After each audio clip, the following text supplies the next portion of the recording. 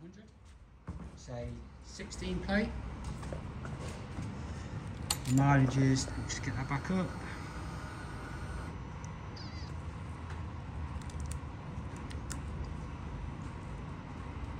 through.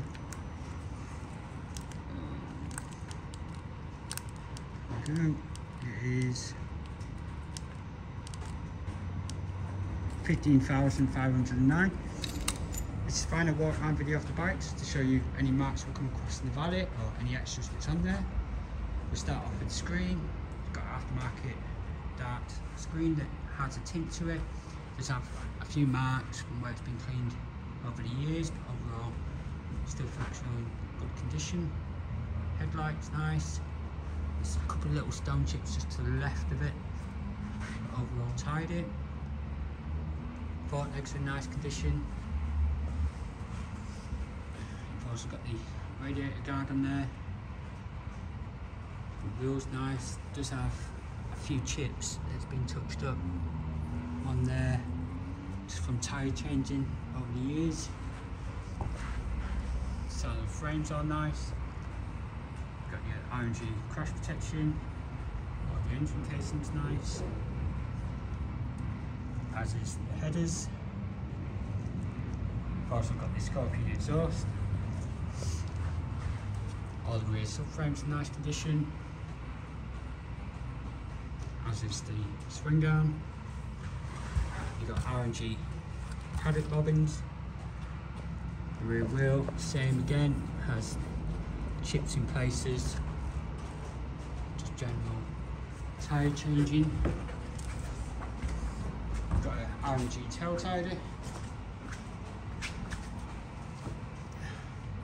And change sprockets in nice condition. And swing arm also. All the suspension's nice and all underneath.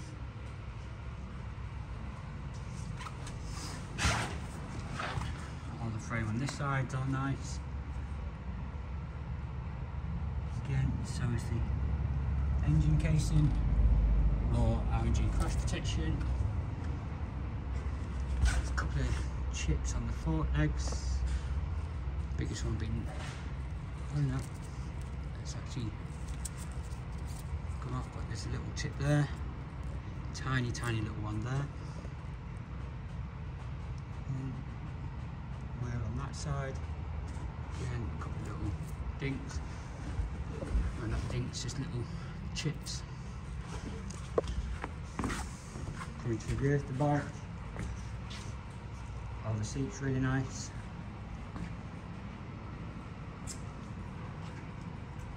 Along the tank, does have a couple of marks that I'll try and point out.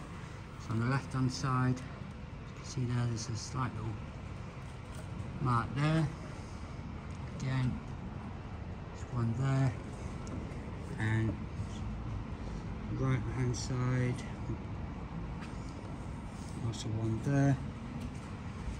Just take around the front, got a few little stone chips that you can see. Nothing you sort of wouldn't expect with the, the mileage. I've also got bar risers on there. Got the aftermarket levers, along with the bar end mirrors. We do have a couple of tiny little marks in places. I've also got the Oxford heated grips. All the dash does as it should do. I've also got a USB power socket there. Nice tidy bike. If you'd like to know any more or would like to come view the bike, it's at Ryder Motorcycles Castle Road, Sittingbourne.